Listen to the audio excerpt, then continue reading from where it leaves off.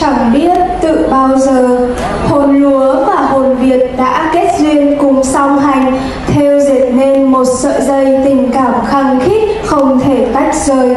Mối duyên ấy như một dấu gạch nối giữa quá khứ và hiện tại, giữa chiến tranh và hòa bình, giữa văn hóa và lịch sử, giữa đời sống vật chất, tinh thần với những giá trị to lớn.